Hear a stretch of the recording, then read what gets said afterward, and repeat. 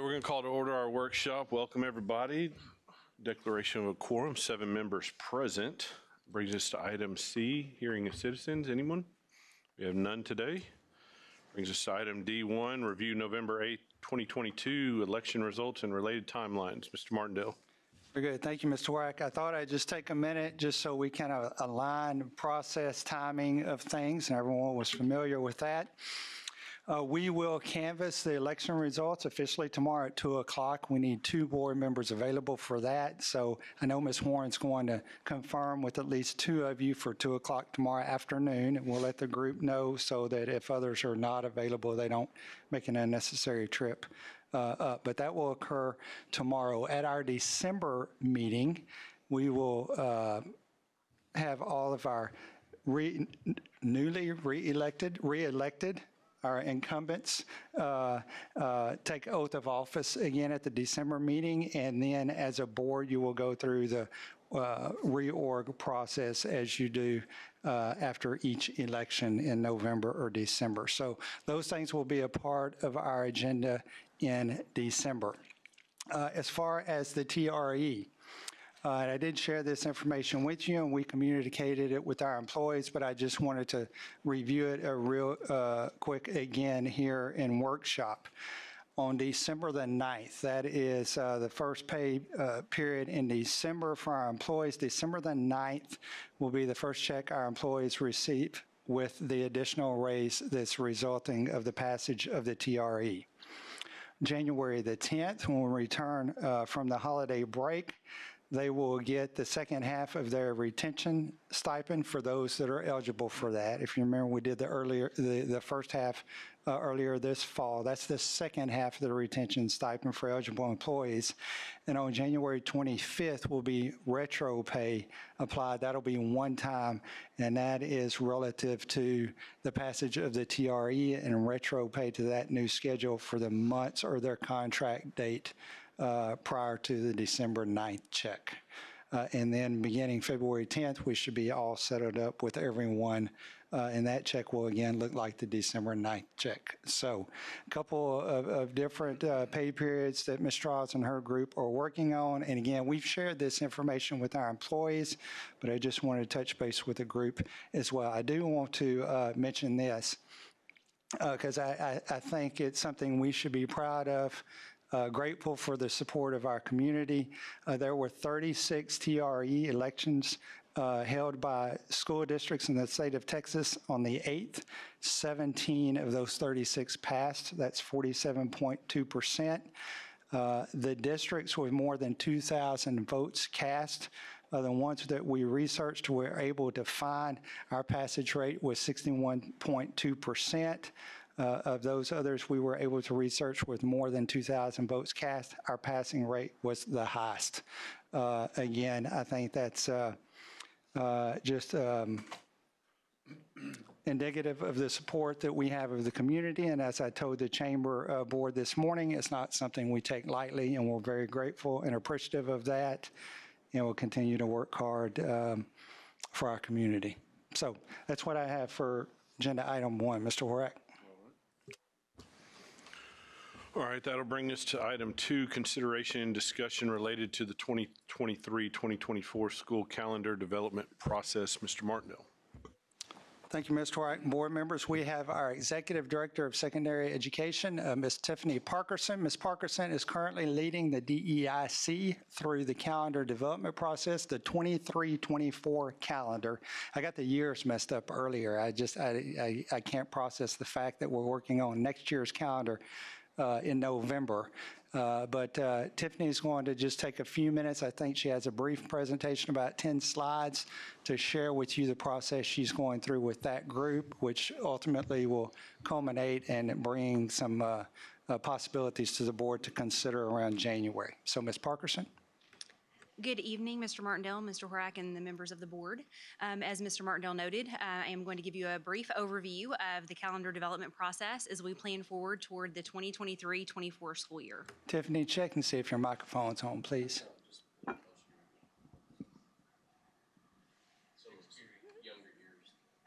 Oh, I'm sorry, I couldn't hear it. Uh, But since I, I'm the oldest one sitting up here, maybe everyone else can. So I'm, I'm sorry. Thank you, Ms. Parkinson. Thank you, Dr. Payne. Okay. Let me gather myself together. All right, so as far as our steps in the calendar development process, um, we actually started um, back in, um, in earlier this, this year in September and October um, through developing the parameters um, and soliciting input from our stakeholders, and I'll share a little bit about what that looked like here in a moment. At our most recent meeting here um, last week, the DEIC reviewed draft calendars and provided feedback. Um, we had three calendars that we took a look at, and um, members had an opportunity to provide individual feedback after visiting with their table groups and having some time for discussion around those. Um, we are taking that initial feedback on those draft calendars, and I'm working right now um, on some protocols to have our members gather feedback in preparation for when we come back together again in Dec- December in our meeting before the break, where we will refine those draft calendars based on that feedback, um, and then prepare for our online stakeholder feedback and voting process, which is similar to what we do every year, so that we um, allow the entire community an opportunity to take a look at draft calendars um, and let us know um, their their thoughts and feelings regarding those, and then we refine those again um, whenever we come together as a DEIC in January. Um, and we will vote to recommend um, either one or two calendars um, for your consideration at the January meeting. And usually, the January um, Board of Trustees meeting is when we do approve those that calendar option for the following school year, allowing our families and students and teachers plenty of time um, to plan forward toward the following school year. So as far as um, looking at that, that stakeholder feedback, um, the DEIC is made up of community members uh, as well as parents, and then of course um, primarily educators who represent all the different campuses. And so we wanted to make sure that as we were framing up this conversation, that we didn't um, stay so focused on our own individual perspectives um, that we forgot about others. And so we spent some time really thinking about what is important for students in a calendar, um, what is important for our families um, for the educators um, ourselves, as well as um, the context around our community at large, um, especially in partnership with the university and the other big events that happen in our community. Um, so we took a, a, large amount of feedback from um, from all of the members of, of DEIC, uh, gathered that based on those four key stakeholder groups. Um, and then I cross referenced it looking for patterns across the groups and identified that um, into these key priorities um, created from all of that feedback.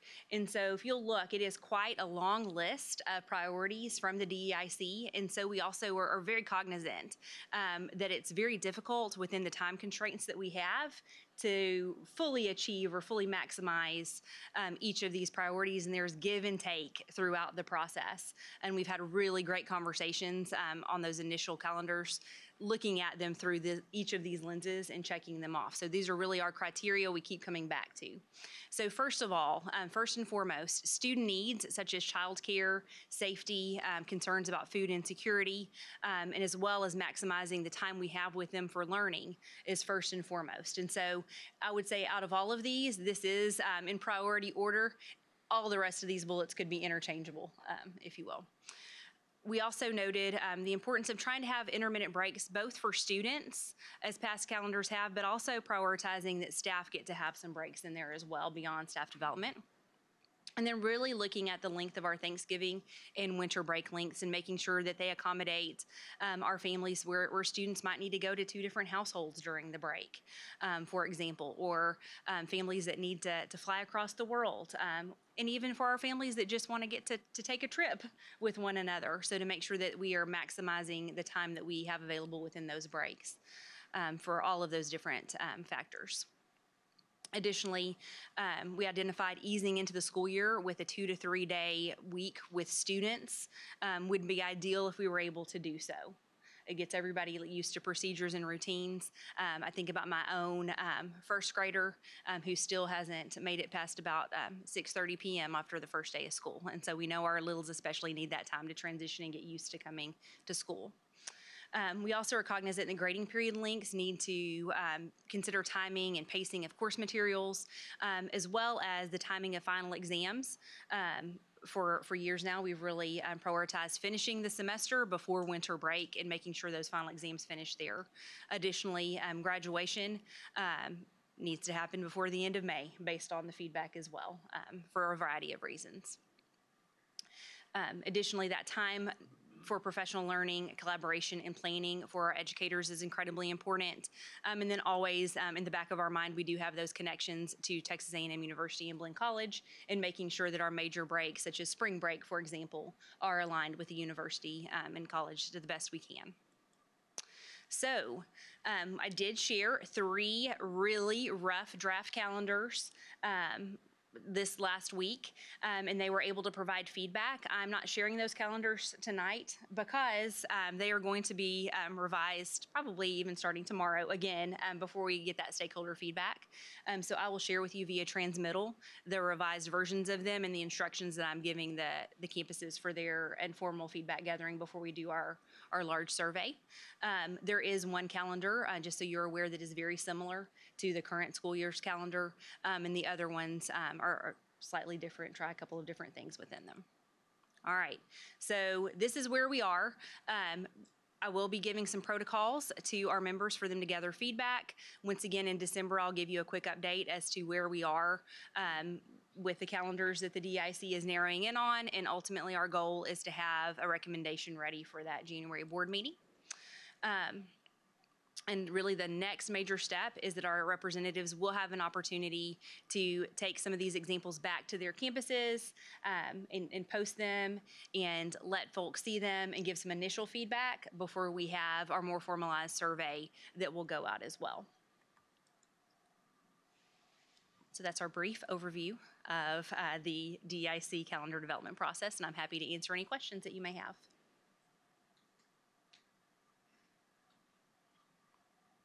Thank you. Uh, Ms. Ms. Parkinson, I have a question. Yes, sir. I'm sorry, who's on DEIC, which board member representatives? Uh, Mr. Hall and Mr. Mr. Ben. Hall and Ben, John. Mr. Ben. I don't recall you being present at the last I was, DEIC meeting. you're absolutely correct. I was at my daughter's signing. I know, just just- wanted a reflection on the activities Ms. Parkerson took y'all through as a DEIC. No, uh, uh, okay, I'm just checking. I know there is great appreciation would you for the like to speak? interactive nature of my meetings. I would say Ms. Parkinson does a wonderful job. Thank you, Ms. Indeed, Parkinson. indeed. All right, we're going to move to number three. And Dr. and, and Dr. Perry did a great superintendent update. It was very concise and to the point.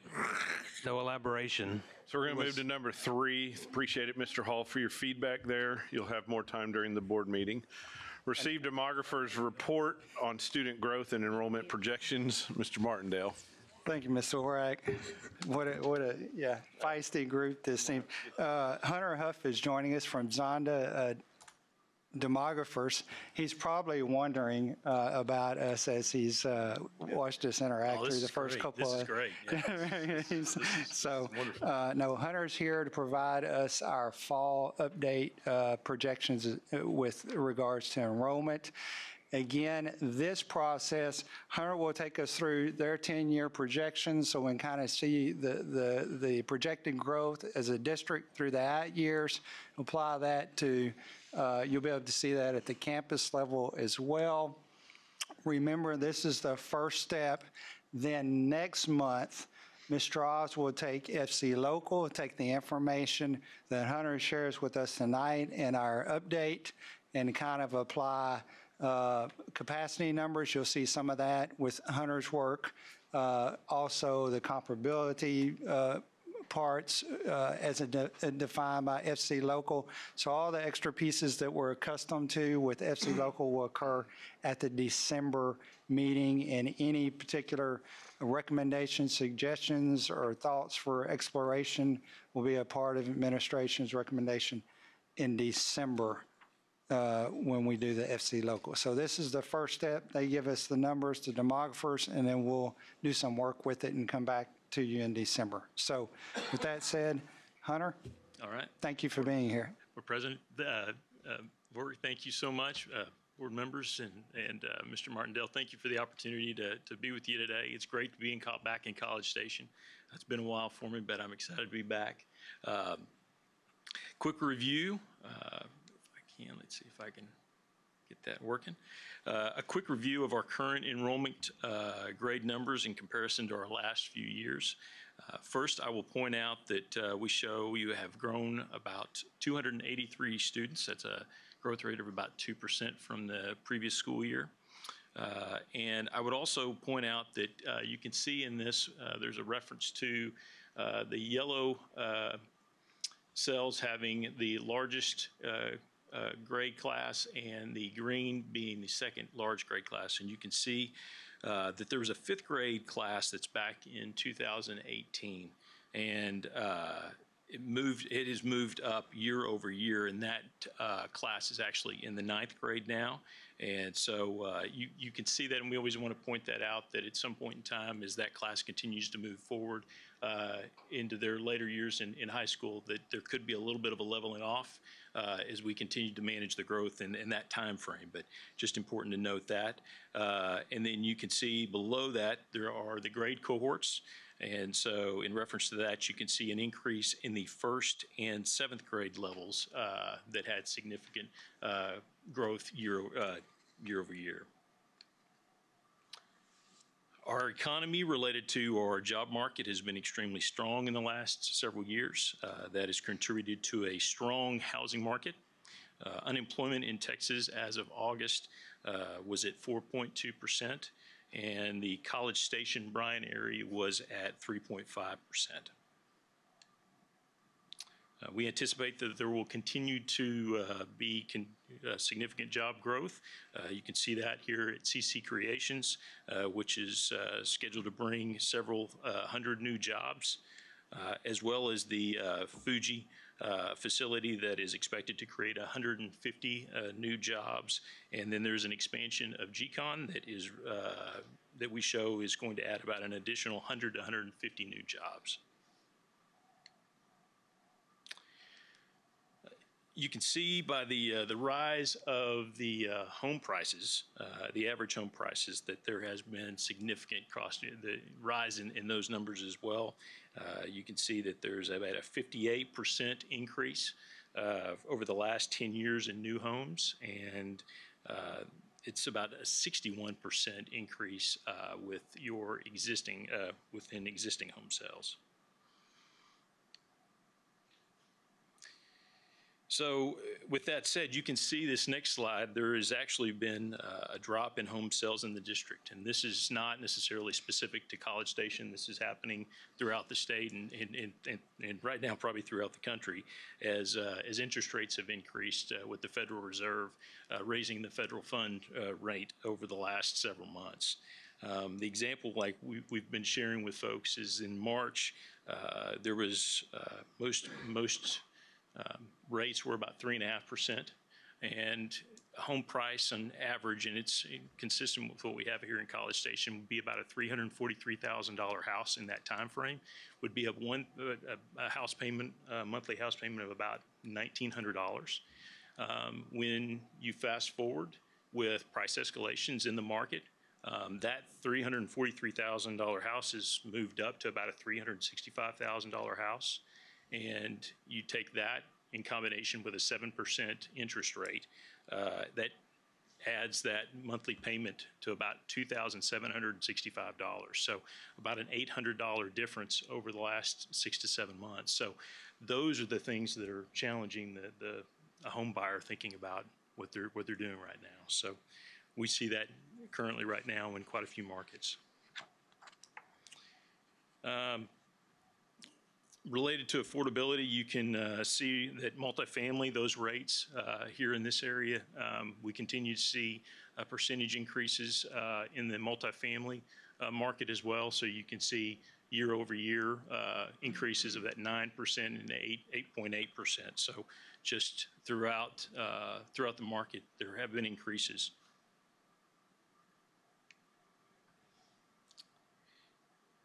There are a total of about 1,161 multifamily units that are nearing completion. Uh, The large multifamily development uh, that we have here, there's, there's about 648 future multifamily units uh, that are in the planning stages. Uh, As we get uh, more into the housing development, let's see, we'll go, I'm sorry, I jumped forward there a little bit. I apologize for that. We're going to get into the southern point. Uh, And so Southern Point, that is in the Pebble Creek attendance zone. Uh, There is uh, 1,994 total lots with 94 vacant developed lots in that area, uh, in that development. 30 homes are currently under construction and 1,664 future lots are in that development. The homes are priced at about $270,000. Next, we have Pebble Creek that has about 1,800 homes, uh, or lots, uh, with 57 vacant developed lots and 327 future lots. We show that uh, we have, there have been uh, about eight new homes that have been permitted in this area over the last uh, six months. So I'll point out in a couple of these locations where the, the permit numbers are a little bit down over the last six months. So that's somewhat in alignment with what we're seeing with the home sales.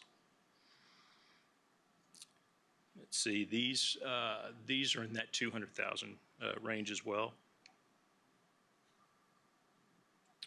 Uh, Next, we have uh, Brewster Point. Um, And I, I would uh, reference Brewster Point um, is uh, in the Spring Creek uh, Elementary Zone, uh, and it has 197 total lots, three vacant developed lots, and 188 futures. And the, uh, the, they final platted uh, Phase Three for 88 additional lots uh, back in July.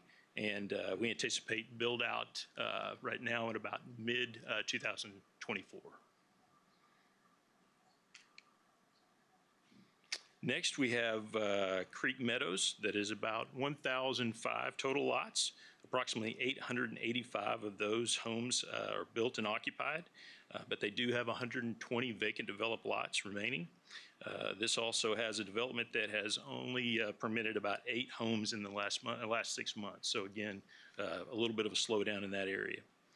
There is also Green Prairie uh, Reserve that has 906 total lots with 63 vacant developed lots uh, and 780 uh, future lots. These, uh, they're anticipating right now about 60, uh, 40 to 60 homes that would be built per year. And these are in that 350,000 uh, price range. Next, uh, future development that's, that's coming is, is Wellborn Settlement, has 115 future lots. Uh, And there is groundwork and utilities that are underway. Uh, And they do anticipate the first few homes being delivered uh, by the end of 2023. There is Winding Creek Estates that has 25 vacant developed lots and 23 futures uh, that are planned. See. These are uh, in that 530-plus range, so we'll we'll definitely be slower, slower uh, developing in that area. Finally, we have uh, Midtown Reserve that has 724 total lots uh, with 33 uh, vacant developed lots in there and 60 homes that are currently under construction. Uh, And we know that we have about 409 future lots that are in that development. And they've permitted 17 new homes in the last six months, estimating about 120, when things ramp back up, 100 to 120 homes uh, uh, being built every year. And this is a DR Horton development.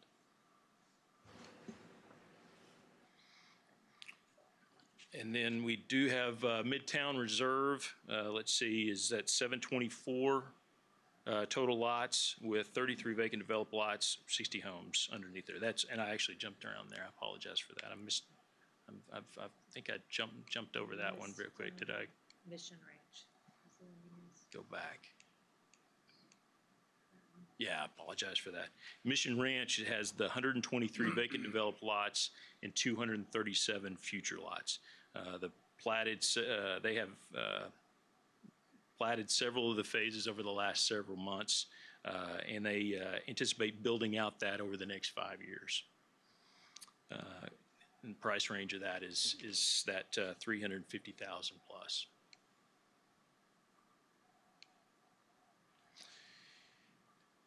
Our research team has uh, reported that the International Leadership of Texas will be building and opening up a high school uh, grade building uh, behind the current K through 8 campus. And that building is anticipated to be built this next year and opened in August of 2024. Our kindergarten numbers are down from the previous year, but that is uh, relative to, uh, relatively in line with the birth rate, birth rates uh, that were dated back to 2017. So the, the previous 2016 year, uh, we had a, a few more kindergarten numbers uh, last year, uh, but you can also see that there were, there were more births in that correlated uh, 2016 year. So we think that's somewhat tied to that. Specific to grade levels, this, this goes back and identifies uh, your, your uh, larger grade classes, but I would uh, reference the tables to the right to show uh, where the numbers are related to growth and uh, the total percentage of growth. And so you can see that we are uh, dropping the projections for next year a little bit down to that 1.6 uh, proposing to be a little bit more conservative with seeing what we're seeing with, with the uh, building permit numbers and the home starts uh, slowing a bit with the uh, interest, uh, uh, interest rate increases. Uh, But we still anticipate that as time goes on, the market will settle, settle that out. Potentially, prices may come down a little bit to offset and make sure that there's affordability in the market um, to offset those higher interest rates. So we do anticipate that things will continue to move forward and uh, homes are going to continue to be built and people are going to continue to be moving into this area. Hunter, I have a quick question before you move Yes. on. What, what are you seeing as you guys do these for various districts throughout the, the state? What, are- what are you seeing just collectively in general from the state? I know some spots are probably still have, are experiencing significant growth, but others are dropping off. I mean, is there, or did I just capture it? What's the, what's the theme? It, it, it is. We, we are seeing a slowing of growth. And in, in, in, in Texas, uh, we still continue, continue to see there's, there's job growth. There's still growth that's happening. But we have seen a slow, a slowing in uh, home construction over the last several, several months. Um, and so we are seeing those things slow down. We are also seeing a little bit of the elementary numbers dropping a little bit, especially in the kindergarten, first grade levels. We're trying to figure out if that's related to um, the- birth rates dropping. We know that the birth rates in general have dropped uh, for, for, for a number of years. And so we, we know that's a contributor. Uh, and then we, we know that there's a, a possibility that there, over the last few years, um, with some of the things that have happened, uh, that there may be a, a few folks that are keeping their kids home uh, in those earlier grades, and so that's helping. Or that's that's dropping some of the overall numbers. But we still see our secondary and our high school numbers continue to to stay stable. So it's in those lower grade levels that we're seeing some drops.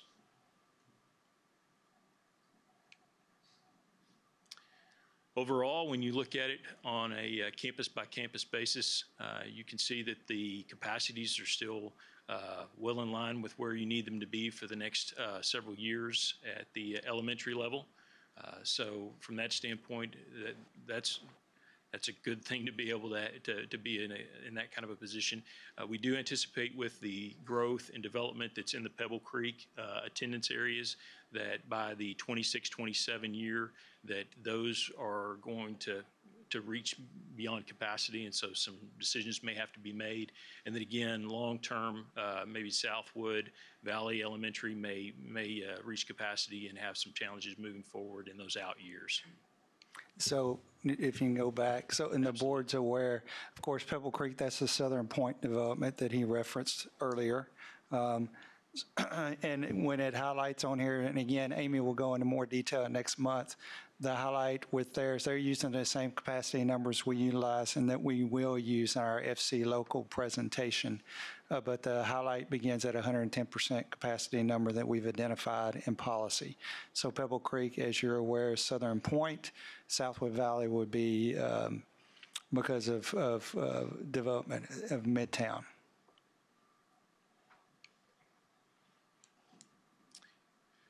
Middle school capacities, there's still uh, room. You uh, have uh, strong numbers at both A&M Consolidated and Wellborn, uh, and uh, some lower numbers at College Station Middle, uh, but all well within capacity numbers up until that 28, 29 year for Wellborn. Um, So, and then really the, the challenge that's there uh, is, is something I know the district is aware of, is, is College Station High School, uh, specific to, to where you're at with capacity. uh, And that, that, that's only going to, those numbers are only increasing in that, uh, for, for that high school specifically. To summarize, uh, College Station economic and housing market continues to, to experience growth. Uh, We do anticipate that home sales will be in that more than 2,000 home sales over, uh, over the 2022 year. Um, 760 lots that are available to build on and uh, a significant number of lots, uh, specific 3,800 planned future lots still to come.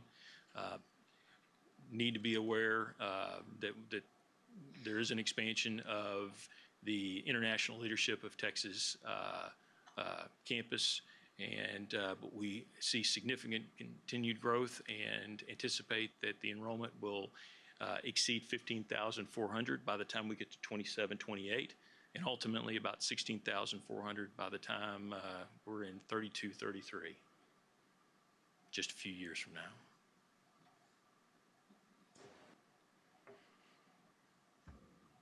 Happy to answer any questions you may have. Hopefully an easy one. On the IL Texas build of the high school, are you factoring us in any change to our numbers based on that? We, we don't have any major adjustments to those projected numbers right now. Uh, We know that they currently have uh, high school students that are currently at the K, K through 8 uh, levels and would anticipate that much of their growth would probably just be a carry up from their prior, uh, our prior student grades, but that will be something that we will continue to talk to the district about uh, this next year, moving, moving into next, to the, to the following, to make sure that we're prepared for uh, planning as far as 2024. Because they do have the high, have a high school open in town, they just don't have their own facility. They're leasing the space. So I wouldn't expect it to necessarily be any, We- any we- change in numbers, We haven't really. referenced any, any, any oh, Okay. change in the projections at this point in time because of that. Yeah, typically uh, those, it is, their capacity is because they just carry the kids up, mm-hmm. right? So,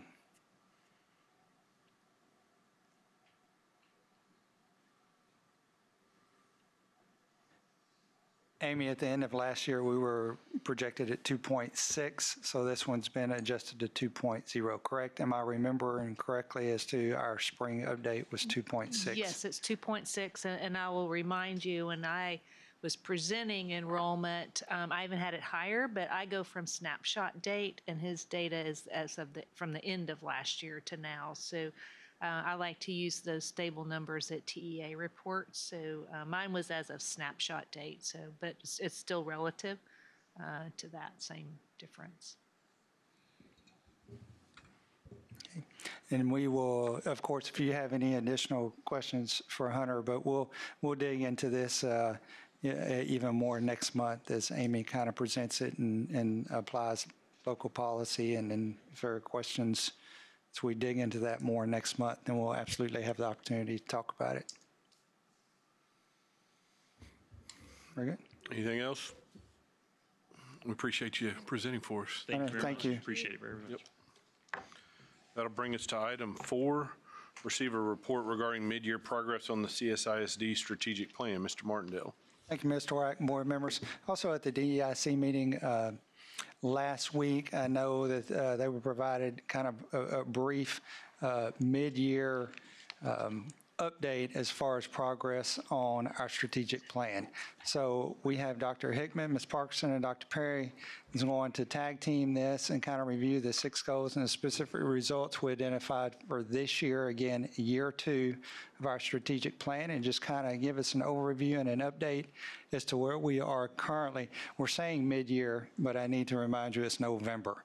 So you're going to see some items that have moved along fairly well with and some that we have not accomplished much of anything with at this point in time. But we're still kind of early in the year.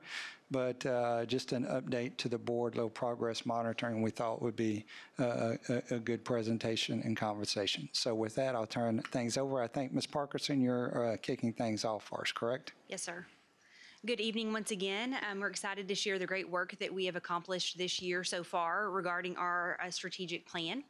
Um, within CSISD. And just as a quick reminder, um, the strategic design framework was created by a large committee in the spring of 2021, um, in addition to revising our vision and some of our uh, portraits of learners and so forth. This team also created our strategic goals. And these six goals really are the, the backbone of this work. Um, these are lofty and aspirational goals that will take us multiple years to achieve. Um, we're looking toward the next three to five years, um, and, and many of these will need to continue um, after that, even uh, to be fully maximized. So I want us to keep that in mind um, whenever we're looking at these goals, that we are not seeking to achieve all of this work this year, but we will make great strides toward that. I'd also like to remind everyone that our strategic plan is our district improvement plan. Um, as you see that the formatting of that district improvement plan, we begin with that goal um, in mind, as well as the specific results that were also framed by that initial design team.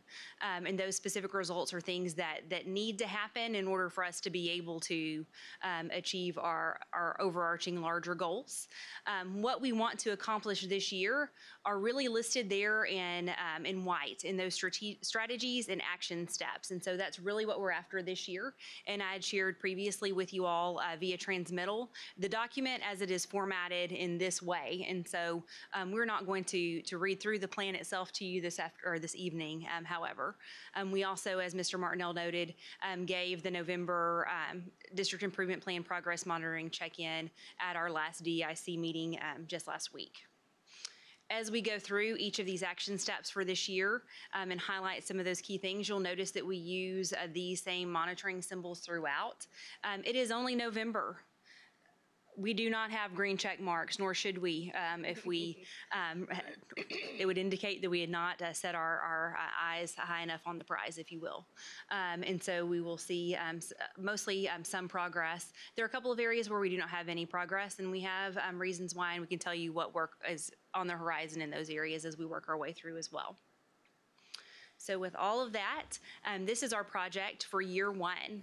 So goal one is focused on enhancing those effective instructional practices by implementing innovative and personalized learning experiences for our students um, and also for our educators. So with our first specific result, we are really focusing in on addressing distinct learning needs, interests, aspirations, and cultural backgrounds of all learners. And as you can see, we've made some progress. Um, I would even argue significant progress in this area. Um, the, the action steps here are really focused um, in on our, our campuses um, and the work that they are doing around the framework for success. And I will highlight a few of those activities here in a moment as well. For specific results 1.2, we're looking at creating a system of personalized uh, learning for all educators. Um, and that is not something um, that, that can happen overnight. We're taking those first steps toward being able to do that through our action step this year. Um, this is one of the specific results that we brought forward for this year that was not something that we worked on last year that I wanted, wanted to point that out as well. Um, a lot of our work in this area really is about um, getting the infrastructure, if you will, the systems behind the scene, such as building the professional learning system within Power School, um, looking for ways we can support our teachers in their individual um, T-TESS goals, um, and then um, working with our principals within the leadership definition as well. And our third uh, specific result in this goal area is individualized goal setting and progress monitoring for our students. But we are unable to achieve that specific result um, until we have a great understanding across our campus administration of what data we have and what we're able to do with it. And so that's really our starting point um, in the work in that area as well. So here are some highlights of the great work that has happened so far. As I mentioned, um, specific results 1.1 is really about what our campuses are doing in implementing the framework for success. The framework for success is not just that um, brightly colored logo. Each of these comes with um, educator and learner protocols and are linked with instructional best practices to help us better serve our students. And so each of our uh, 19 campuses has identified one of these phases to really focus in on this year. Um, And they are integrating this into their focus in a variety of ways. And so here are just a few examples um, from our campuses. At Spring Creek Elementary, they're focusing on uh, Inspire, um, and they're using that weekly newsletter for different members of their faculty to share um, why they are inspired, how they inspire others, um, moments of inspiration from the, the, their weeks. And so that is an example um, of that. Um, Cypress Grove is doing some work really in uh, personalizing professional learning by having um, choice book clubs for their professional learning community work. And so that's represented there at the top of the slideshow. Um, whereas uh, Wellborn Middle School is also working on Engage, and you can see how they're focusing really on that best practice underneath that uh, piece of the framework for success of standards alignment and really making sure that all of our learning that is happening in our classroom matches the depth and complexity at which the standards are supposed to be taught. And so, like I said, just a sampling, um, but it represents the wide array of things that are happening on our campuses related to their framework for success implementation. Um, additional highlights in this area, going back to that personalized professional learning, um, really, uh, Mr. Mann has made great strides in working on the Power School professional learning system. This is the software where we are able to track our professional learning, um, set up our courses. Uh, eventually, we'll be able to um, to use it for um, creating and housing different um, self-paced modules, linking things in from Schoology that are created there and so forth. And so really it's an important piece for us to be able to move the work forward. Um, additionally, um, throughout our district and our campus professional development, we provide choices. I'll give an example. Um, in, in social studies recently, uh, Ms. Rodriguez um, had a, a share fair type environment where various teachers signed up and shared their own expertise, and um, the other teachers in the audience got to pick what they went to. And so, personalizing learning can be just that simple, having options available. Um, additionally, we are really working on leveraging our new leadership definition through our work and our individual goal setting and coaching with our principals. And so, really, they're getting that firsthand experience in what that personalized um, learning looks like for them through our principal collaboratives that we have, as well as their own one on one time um, with Stormy and myself as we work with them on their goals. Um, and then finally, in this area, we have a lot of information, and we are really excited that it is um, now housed under one umbrella in a tool called Performance Matters. And so, if you see the um, the picture here in the bottom right, that is a picture of the baseball card report. And just like the back of a baseball card, we can look at a lot of data sets for one student all in one place, ranging from STAAR scores to absences to six weeks grades. Um, and so, it's a really powerful tool to take um, data sets from a lot of different places and look at them side by side and really hone in on a, a student's needs. And so, we at this point have done um, all of our train the trainers sessions. Um, all of our teachers um, are in, in the process of, um, if not already trained on accessing the robust reports and data available here within that system. Um, our next steps here will then be to really work with our principals on streamlining our data analysis processes and how we're using this information that we have. Um, and then additionally, um, that specific result, uh, 1.3 is about individual student goal setting. And so while um, as a district as a whole, we are not um, moving forward and making sure all 19 campuses have these going. Our baseline is really using the data first. I did want to acknowledge that we do have some campuses who are uh, innovators and early adopters who are really working with students on setting their own learning goals and helping kids track their own learning. And it's really exciting work to see that. What grade level are those? I'm just curious. So Where really, a lot of our, our elementaries um, in our in some of our intermediates primarily, um, and really they're using a lot of the great reporting that we see from NWEA MAP, and using that tool to really look at a certain area within it and the, the zones of proximal development and what is the just right next step for those students and helping them take ownership. Okay. All right, I'm going to take over for goal two. Let's see if I can. All right, so uh, goal two is that CSISD will elevate the outcomes for our historically underperforming student groups. So the first uh, specific result that we're going to look at under goal two is increasing student success by establishing a calibrated comprehensive MTSS program. So MTSS stands for multi-tiered systems of support. Uh, it's previously known as RTI or Response to Intervention. The purpose of MTSS is really so that we identify gaps with students and we provide intervention that's targeted before we see those gaps widen. So it really is about um, identifying what we need to do so that our students don't get behind to begin with, and that if we have students who are behind, what we can do to get them caught up as quickly as possible. So you'll see we've got some progress noted uh, on all of the items here for this specific result. We're working together to revise our handbooks associated with MTSS to make sure that those are uh, calibrated across campuses and that they're being used, uh, it- that they're reflective of the work that is being done on our campuses. The next specific result is increasing student achievement by implementing research-based best practices in Tier 1 instruction. So Tier 1 instruction is that differentiated, everyday instruction that happens in the classroom. All of our students receive Tier 1 instruction every single day. And so our goal here is really just to continue improving upon the, the best practices that our teachers are using in their classrooms every single day. You can see uh, there are a couple of these items where we've noted some progress because um, really what Tiffany just spoke about, that implementation of the framework of success, uh, and our content coordinators working toward visioning documents for each of our content areas. Uh, we also have a couple of upcoming projects that are noted on here as well. Uh, we will be working toward creating a curriculum management plan, which will encompass uh, everything to do with curriculum and really be great about defining roles and responsibilities uh, as it comes to implementing our curriculum.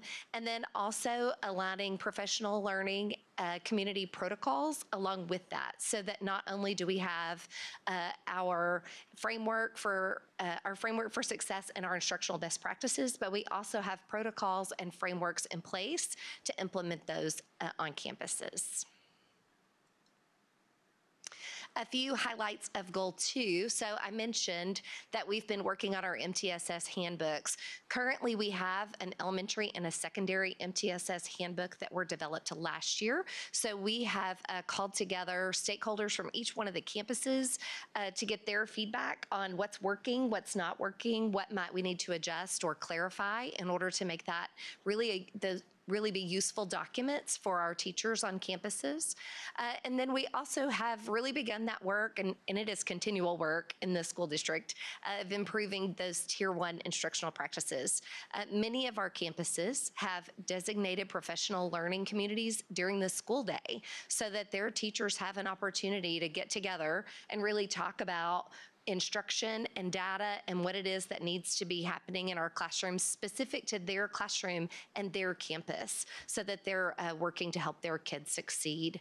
Uh, those data discussions have been quite targeted, especially with that addition of performance matters, which Tiffany just spoke about. Uh, and then I also want to highlight just planning for small group instruction. When we talk about instructional best practices, many of our campuses selected small group instruction as the best practice that they wanted to focus on this year. And so while we have traditionally had small group instruction in our elementary campuses, we have definitely seen that move into our intermediate level and even into our middle school level this year. So uh, we're really moving forward toward that idea of making sure every single student gets what they need instructionally and knowing that small group is one way, one thing that we can leverage in order to make sure all students are supported.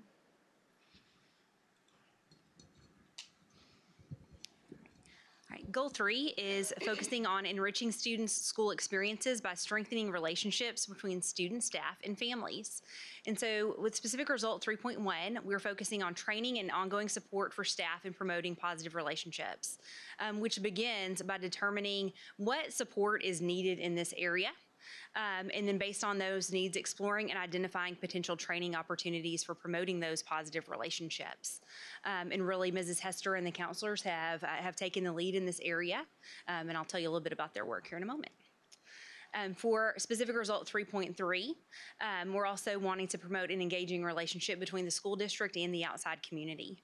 Um, this really um, is asking our campuses to take action to um, go out and engage stakeholders off campus in a different setting. Um, and also um, by participating in community service and allowing our students an opportunity to give back to the greater community at large, um, as well as making sure that we are sharing these community outreach activities and service projects um, through social media and other channels to make sure that people are aware that these things are happening. So as far as the highlights of our progress so far, um, as I mentioned, Ms. Hester and the counselors are creating flexible training options, um, not only for our educators, but also to have available for families in ways that they can support their students um, in recognizing and some of the, the issues of the day, um, such as um, dealing with stress um, and anxiety and peer pressure and, and those types of things. Um, and so that is in the works. In addition, um, we have a plethora of events and, and always have where we welcome um, folks to our school community, such as our fall, fall carnival uh, events on campuses. Um, but really, this goal is about e- expanding that um, to, to going out and pushing into the community. Um, so, for example, our early childhood um, programs all came together um, at College Station High School to hold their second annual early childhood multicultural night. And, and in that time, um, the participation grew exponentially. It was a huge event, um, very well attended and very well celebrated um, by our, our families in the early childhood programs here. Um, additionally, Riverbend here is hosting an event geared toward families and, and really helping them understand how they can support their students as learners, um, both academically and socially and emotionally. Um, and then just today, um, Consol uh, had their Consol Cares event where 250 of our high school students actually left the building today and went throughout our community, um, serving in places from Scotty's house to um, to other elementary schools um, and so forth to really um, have that opportunity to to understand what service is and how they can um, can benefit others. Um, and so it's really exciting. I was just looking at some pictures before the workshop began, so I would uh, encourage you to check social media, and we'll be sharing some of those via Transmittal um, this week as well, highlighting that awesome event that happened today. So that's my kid. One of my kiddos did that today, and um, she loved it. And she has a new appreciation for. She went to elementary school, and she has a new appreciation for um, pre-K teachers. Like huge. Yes, indeed. And, and I, you know, the, the impetus behind all of this is to have a new appreciation for all the different facets of our community and to be exposed to different things that they may not have otherwise. So that's right? awesome. She loved it. Okay. Um, goal four um, is about focusing on cultivating and strengthening intentional partnerships with businesses, community organizations, and higher education agencies. Um, and so, in this area, um, we have made made some progress, and this is um, one of those goals where we have um, plans to to really focus our work now that the TRE has passed, and to move forward on this on this work. So we do have um, a lot of existing community partnerships. Um, so at this point, we have a really nice draft list of, of what we are aware of. Um, and I'm kind of jumping to the highlights, so I'll move to the next thing. Um, as well as for 4.2, um, the specific results about identifying needs of various groups within CSISD. That's our next step. We have we have the draft, as I said. We we know what we um, what we from our centralized location understand um, that we have. But we want to first start with surveying our campuses um, to get a little bit more input to make sure that we know all of the partnerships that, that they have as well. Um, also to identify their needs uh, for, for future partnerships. Um, and then reach out to our community organizations to see how we can help them and benefit them as well. And so, um, so Chuck is really uh, taking the lead in this area and working on these things as we move forward. We're also um, exploring a lot of future opportunities. Uh, just last night at the Chamber of Commerce banquet, uh, Dr. Banks talked about um, Texas A&M University's desire to have a, a stronger community connection and partnership, um, and we are really excited about some um, some additional conversations that we have been able to have that we're not really ready to to share publicly, um, but they go above and beyond even the things that you are seeing here um, on the screen. But I would be remiss if I didn't point these awesome opportunities that exist already. Um, Mr. Mann has been working with the Texas A&M School of Education for professional learning opportunities. Um, the top class courses that are featured there are focused on leadership development, and we're using those for, for the assistance in personalizing our learning for our principals and our assistant principals. They also have Project Moople, which is really geared at teachers improving their practice. And so um, that's an exciting opportunity. Um, every year, we partner with the other um, high schools in our community, um, Bryan ISD and so forth, for Braz- Brazos Valley College and Career Night. Um, and so that is an exciting way for our, our students to see their futures and plan forward. Additionally, as you know, um, we expanded the programs at College View High School um, with, within the academy system. Two of those brand-new partnerships are featured here. The Texas A&M Hotel and Conference Center partnership for our students um, who are in our uh, hospitality program. Um, more than half of them are employed by the hotel. I believe I shared that previously. I learned last week that two of them are, are already up for being a manager. Um, additionally, we do have students attending classes out at the Blinn College RELLIS campus in our Facilities Engineering Technology program where they're getting to have those hands-on experiences um, there as well. Okay. All right. So thanks to the support of our College Station ISD voters in the uh, bond propositions of November 2021, we've made really very significant progress in a lot of areas uh, within Goal 5 to improve our, our tech technology ecosystem, uh, both by increasing access to devices with our, our staff and our students, uh, as well as strengthening the infrastructure and improving uh, that safe and secure digital learning environment. So looking at goal five, uh, specific result 5.1 really focuses on increasing devices in the classroom. And that was really the intent of Proposition B uh, in that November 21 bond. Uh, with the passage of over $4.5 million, uh, we have been able to uh, expend already about 70% of that on both teacher and student devices. Uh, that equates to about 2,800 additional laptops for our students in our classrooms, uh, as well as transitioning from desktops for the first time to all of our teachers having a laptop.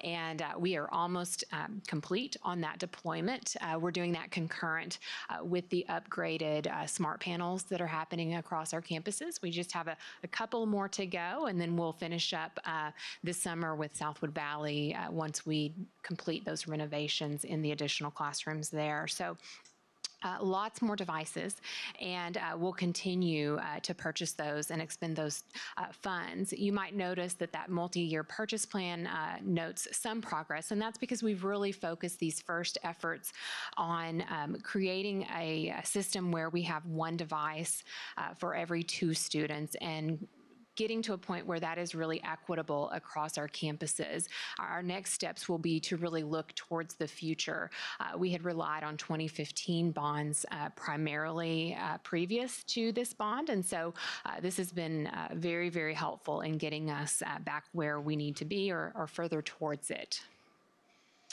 5.2 uh, really focuses on the infrastructure, the things that you don't necessarily see inside of the classroom, but uh, make those devices work, right? Having the, the Wi-Fi available, making sure that we have the network area storage, and those uh, funds were coming from Proposition A that included uh, about $12.3 million for uh, the things uh, that I mentioned here, as well as those uh, smart panels. Uh, we've expended about half of those dollars already, uh, and uh, included in that are an upgraded firewall and filter. We are working on upgrading our network switches, our servers at the campus level, as well as increasing our storage area network. we have ordered um, many, many additional Wi-Fi access points so that we can increase uh, that availability of Wi-Fi as we uh, put more demand on that system with the increase in devices. Unfortunately, supply chain is holding us up on that one uh, a little bit, but we are expecting those to be in uh, by the end of the school year. Also, uh, not mentioned here, but will uh, be included in this component is upgrades to our AV systems. The third specific result within Goal 5 that we're focusing on this year is really about safety and security. Uh, we know that uh, school districts are increasingly uh, becoming uh, rich targets, not only uh, because of the financial information that we have, but also the staff and student data that we hold.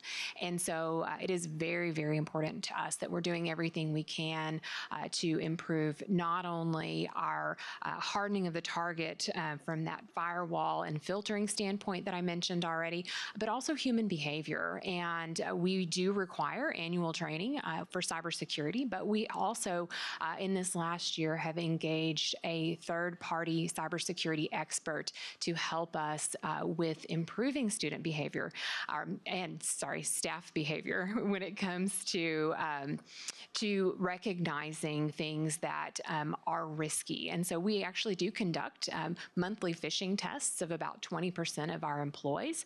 Uh, if they click the email that they shouldn't be clicking, they get immediate feedback about why they should not have clicked it and what could have happened as a result. And uh, if they click it, then they automatically get retested the next month. And so uh, that we have noticed uh, is really showing some some improvements as well. And I know I'm not privy to say whether Mr. Martindale has clicked the email.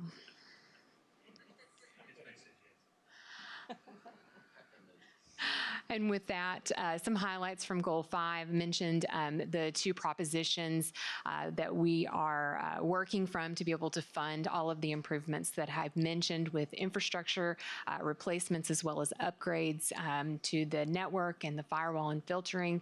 Uh, those audiovisual equipments are coming. Uh, the smart panels are very close to being complete, and those Wi-Fi improvements are, are, on the horizon as well.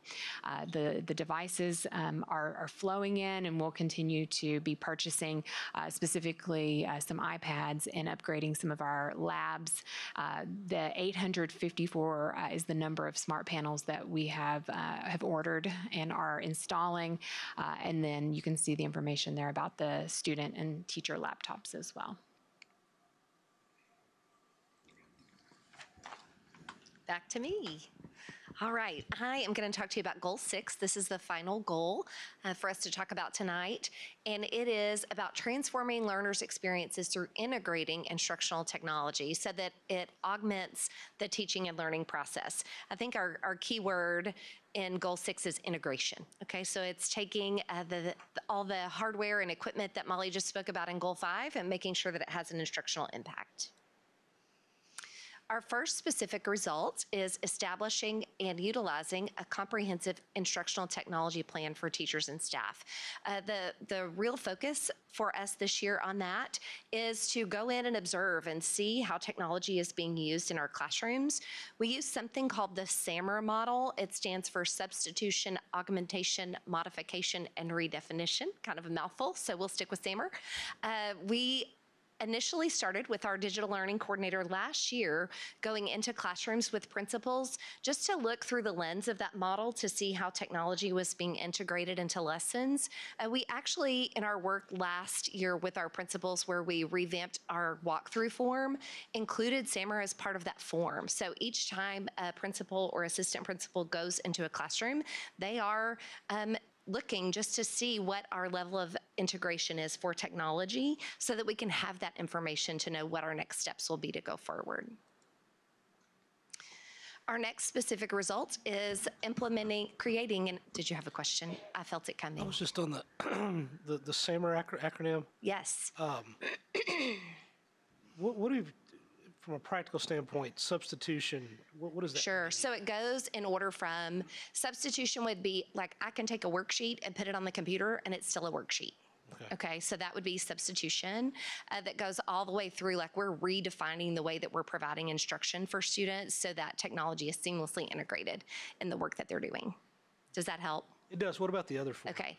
Uh, augmentation would be where it is like providing support. So we're supporting the instruction with the technology.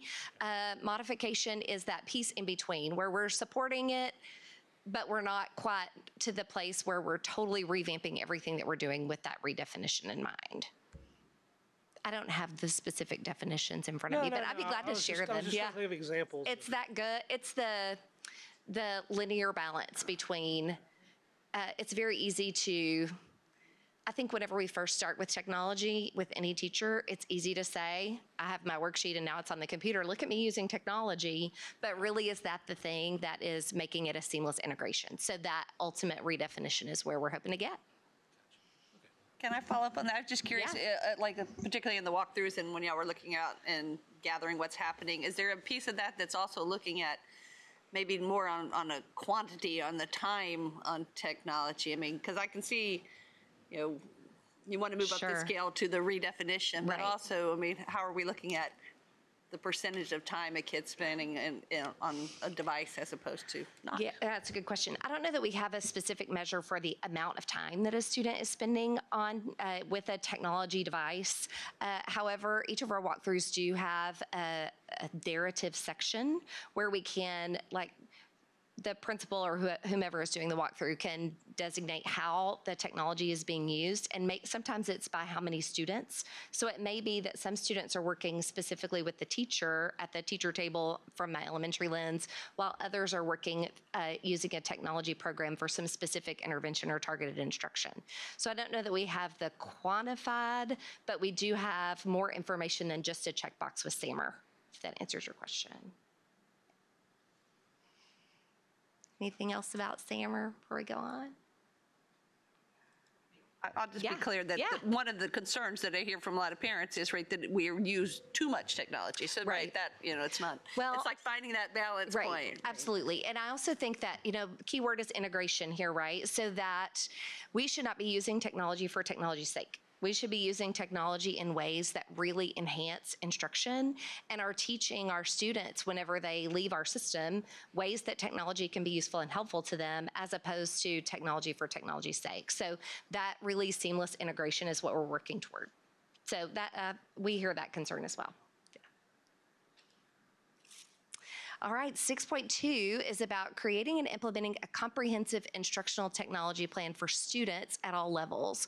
Uh, we are, we do have technology application TEKS for the 23-24 school year, and what we would like to do with that uh, theme of integration here is find ways that we can teach those TEKS integrated with our other content areas as much as possible so that it's not technology as a standalone. So we're able to make sure all of our students uh, are receiving instruction on how to use technology appropriately and well, uh, while also using that to supplement their learning. Uh, we're also working to update our district level resources for digital citizenship and creating campus-based plans for K-12 digital citizenship so that each of our students are receiving appropriate instruction to their age and grade. And then finally, providing sufficient instructional technology, resources, and support. So we can have lots of resources, but if we don't have the support associated with them, then uh, we, we run the risk of them not being utilized um, to their full potential. So uh, this is an important goal that our instructional technology staff of our both uh, our digital learning coordinator and our instructional technology specialist work toward every single day with our teachers. Uh, they have been providing training on these new uh, interactive panels to all of our teachers. So this is where I would give a shout out to Lauren Finkner, who is our instructional technology specialist, who has personally gone to every single campus the week that their smart uh, panels are installed and conducted trainings and worked one-on-one with teachers and done everything to make sure that teachers are comfortable, uh, as comfortable as possible with this new technology that's coming in their classroom. So this is really about providing support for the many resources that we have. Uh, a few highlights here again.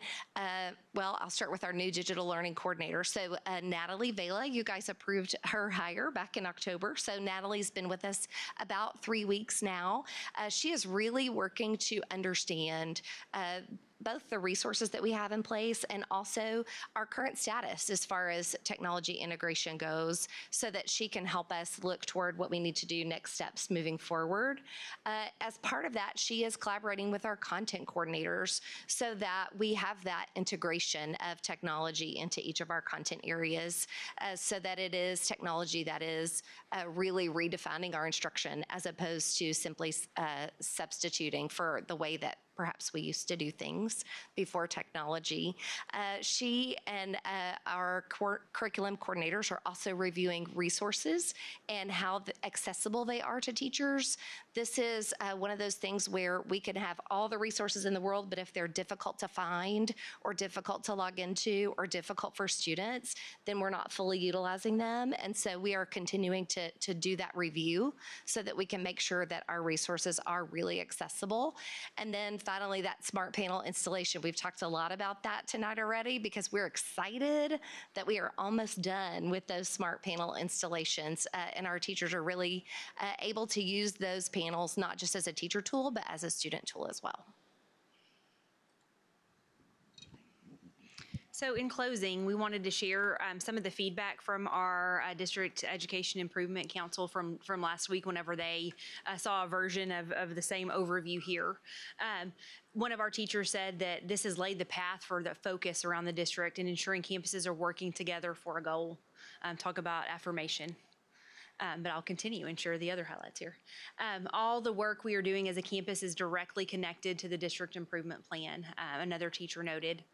Um, a third teacher shared, I think the DIP has shaped the work of the district this year with technology and getting campuses up to par with the amount of technology, and I appreciate it. And so, from three of the educators in the room, they're really um, seeing how this plays out on their campuses, and really that was representative throughout the survey. I, I just didn't um, read the whole survey to you.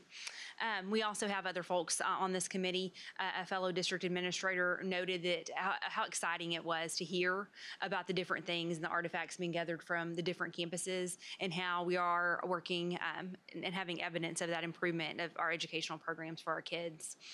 Um, and then a, compu- a, community member um, was was very impressed with how thorough the plan is uh, and multifaceted there. So.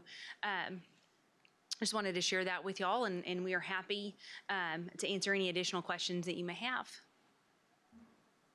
Question about uh, Goal 5 with uh, buying laptops, which I think is great and needed. Are- Are we going to be able to get to a one-to-one ratio? Because if we've got, you know, 24 students in a class and we've only got 21 laptops and then, you know, one or two needs an update or what, so I'm just curious if that'll, Right. So right now, in terms of the goal and the way that it's written, it's really designed to just increase that accessibility for our students. We've not set a specific goal in either uh, the strategic plan or the long-range technology plan to say we are moving towards being a one-to-one district. Uh, we definitely want to have greater accessibility, and we know we have further to go than just the one to two.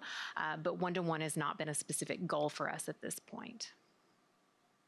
I'm gl- I'm glad you guys are getting more devices because I know that there's always, if you got one or two students in the class that doesn't have it, then, then they're left out, so. Yeah, ultimately, what we want to get to is if a teacher wants to plan a lesson that involves devices for their class, they're able to get that card and implement the lesson and not have to juggle that and schedule that out with other teachers and, and struggle to be able to access what they need Yeah, for and that instructional that cart has purpose. enough for the Exactly. class, yeah. And then the, the added demand for how many people are on the network, so I'm glad to hear that that's being worked on too. Yes.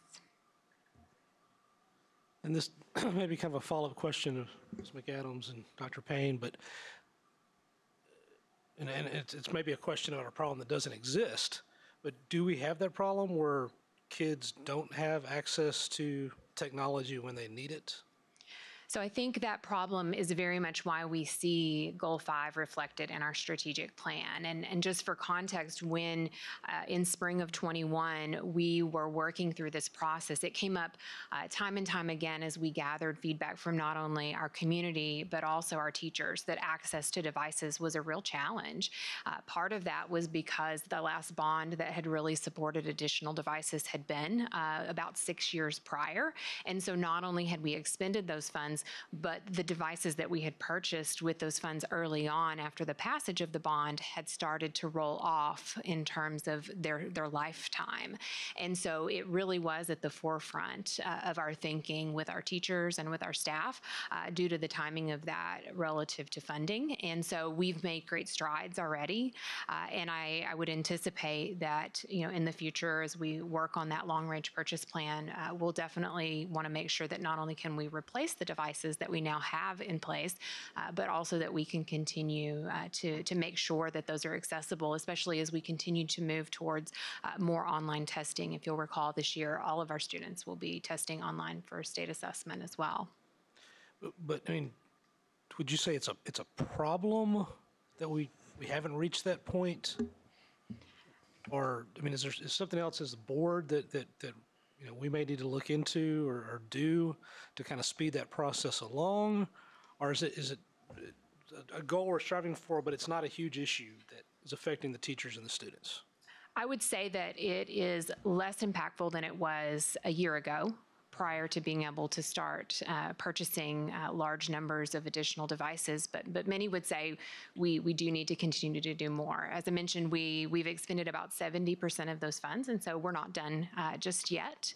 Uh, but, but it's always because of uh, the length of time that a device is, is useful, uh, shelf life, if you will. We always have to continue to make sure that we have the capacity to replace and, and to continue to ensure that we have good accessibility. So I, I think, Josh, I think our ratio is improving. It's obviously not one-to-one and we- far from it, and we continue to work on it with our bond funds. I think, you- I, I think now is access to technology for our teachers a problem. Uh, I don't think that they can necessarily, in all instances, access it immediately.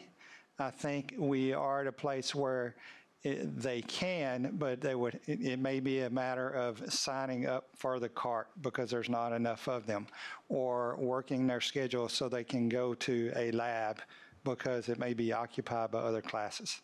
So, um, it's accessible, maybe not immediate, and do you have to plan around it because of our ratios? I, I think that's probably where we are from a classroom standpoint. I don't know if that answers your question or not. I, I, I know I can use my wife, for example. They have a lab that a number of them use. So can she just pick up and go down to the lab whenever she feels like it? No, she's got to check to see if the lab's available. So, uh, so I think it's more right now we're at a place of, of uh, they're available, but it's a scheduling mechanism too. In some instances, it may be a little bit better in some places than others. It- I mean, it, it, it takes a little bit of work, but it's, it's not stopping us from moving forward on that goal at this point. I wouldn't think it's stopping us. I think it's just that we can improve upon it. Yeah, and, and that's exactly what I'm asking. As, as a same thing, married to an educator, if you get the card, it's got to have enough laptops, and then they all have to be working. So it's not a big deal if it's one or two, but then it is one or two students that doesn't have that. So yeah, that's. I, I don't think it's detrimental, but it is a hiccup. That's why I'm asking.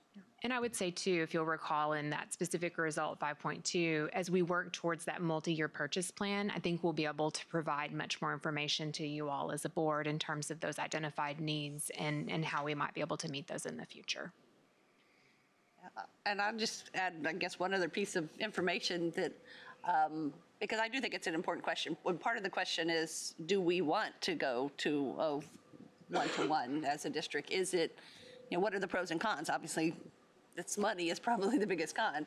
Um, We, this came up in Education Foundation that one, some, over the last couple years, one of the grants was to fund basically an experiment in a couple of classrooms for one-to-one devices. And I can't remember how many classrooms it was, but it was, I mean, it's significant. It's like eight or, or so classrooms that are actually have one-to-one devices and, you know, you, so using that and working to see, I think the goal is to see actually data and results from that experiment. So I don't know if you can. Is the education, the Education Foundation, will they buy devices? Because I believe they will not, correct? They, uh, it was a program that they helped supplement, yes, to have one-to-one in these. To study it, but did they buy devices? I think they funded some of the devices too, if I'm correct. Yeah, they're- Right, not all of I the would just be devices, curious. but Some they of were them able to- to supplement along with the teacher training component because uh, like Stormy discussed in goal six, you, we can divide, buy all of the devices in the world, but unless we're using them meaningfully, they're really uh, not going to, to be uh, the most bang for the buck as they could be. Yeah, I agree. That was a good piece of it as well, that it was included the instructional training with it. I mean, it would be, I will be interested to see the results of that when, you know, however long it takes to kind of get that feedback. Anything else? Thank y'all for the report. That helps us understand where we're headed after being on that committee, so I appreciate it. Yes, thank you for continuing to work on it and give us updates Implement on it. it That's the as big well. part. Yep, exactly. Do the hard work. All right, if there's no other questions, we will adjourn the workshop.